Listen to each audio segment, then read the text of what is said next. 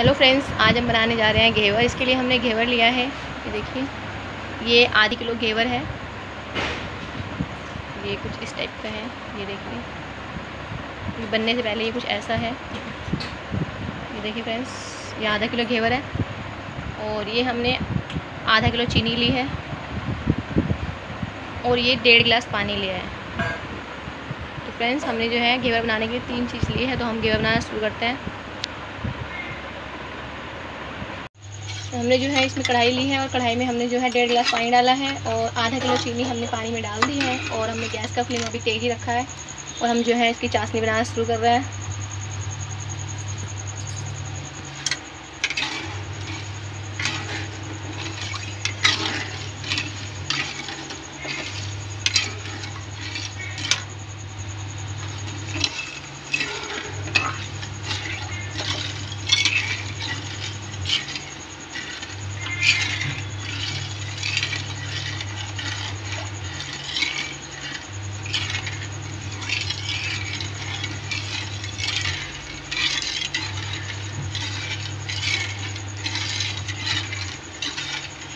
चाशनी आते हैं चाशनी में जो है, चीनी को जो है ऐसे ही पानी के साथ मिक्स करते रहेंगे।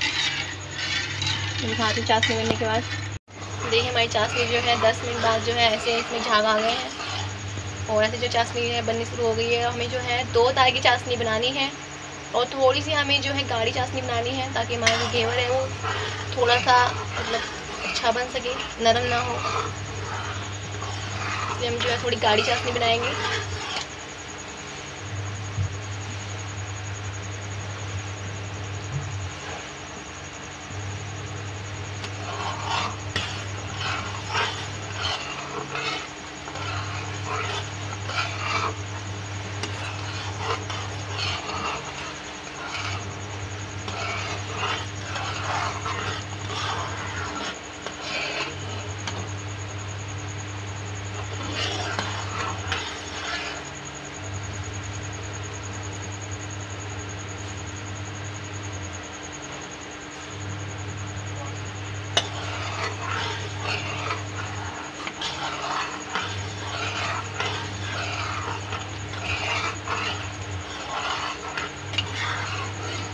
you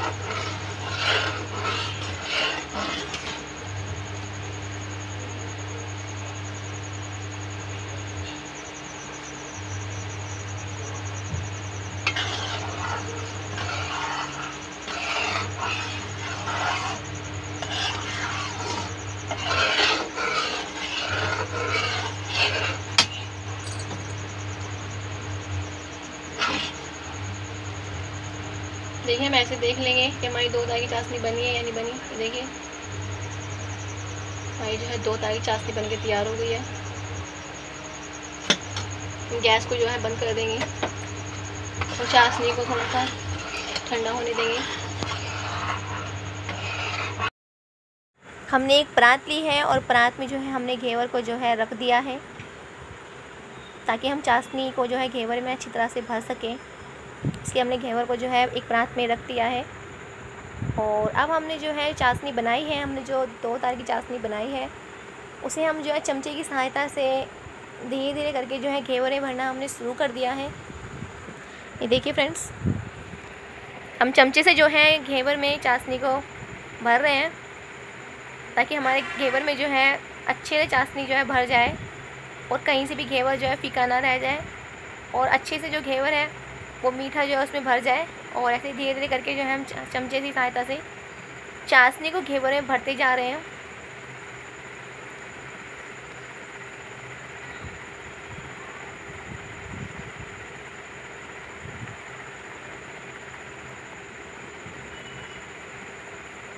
ऐसे ही भरते जाएँगे, चमचे से थोड़ी थोड़ी चाशनी लेते रहेंगे और घेवर में जो है भरते जाएँगे।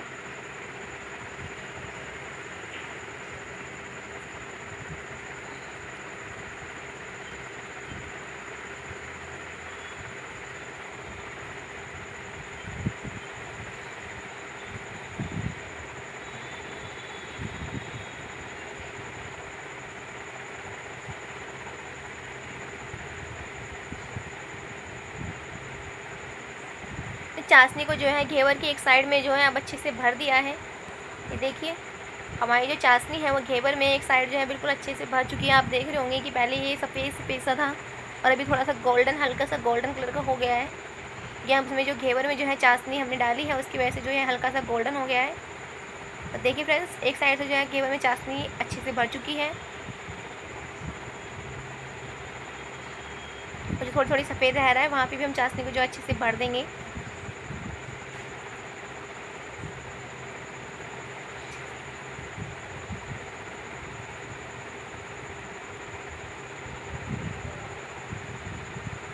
हमारी चाशनी जो है, घेवर की एक साइड जो है, हमने चाशनी को जो है घेवर में एक साइड से अच्छे से भर दिया है। ये देखिए फ्रेंड्स।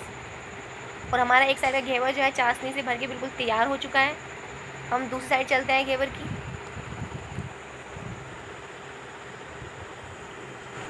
अब हम दूसरी साइड से जो है, घेवर को जो है, चाकू और पलटने की हेल्प से जो है, बहुत ही धीरे से जो है हम घेवर को पलटेंगे, ताकि हमारा घेवर टूट ना जाए।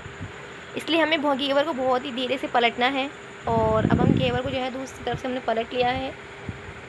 देखिए, और पहली तरफ़ से जो है घेवर में चाशनी पूरी तरह भर चुकी है और हम जो तो साइड से पलटा है, उस साइड भी हम जो है घेवर में जो है अब चाशनी को भरना शुरू कर दिया है और हम घेवर की दूसरी साइड में जो है चाशनी घेवर में भर रहे हैं। ये देखिए, हमने एक चमचे की सहायता से जो है चाशनी को धीरे धीरे करके हम घेवर में भर रहे हैं, ताकि जो घेवर में जो चाशनी है वो अच्छी तरह से मिल जाए। और पूरा घेवर हमारा जो है अच्छे से चाशनी से भर जाए।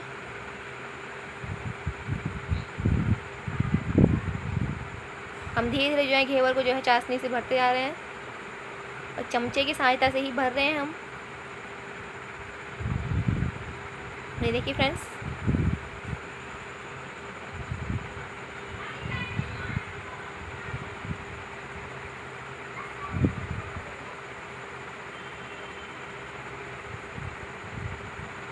हमने जो है, चाशनी को जो है, घेवर में जो है, पूरी तरह से भर दिया है।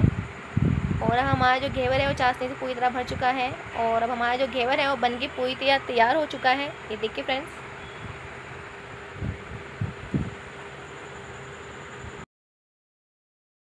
देखिए फ्रेंड्स ठंडा होने के बाद हमने जो है, घेवर को जो है पीसीस में काट लिया है। और हमारा घेवर जो है, कुछ इस तरह से बन के तैयार हुआ है। ये देखिए फ्रेंड्स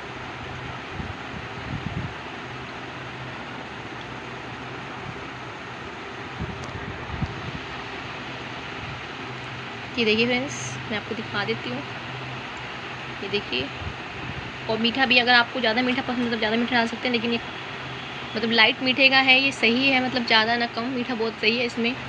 तो फ्रेंड्स हमारा घेवर जो है बन के तैयार हो हुआ है, देखिए फ्रेंड्स तो आप भी इस रेसिपी को ज़रूर ट्राई कीजिएगा। और कमेंट्स करके बताइएगा कि आपको रेसिपी कैसी लगी। Thanks for watching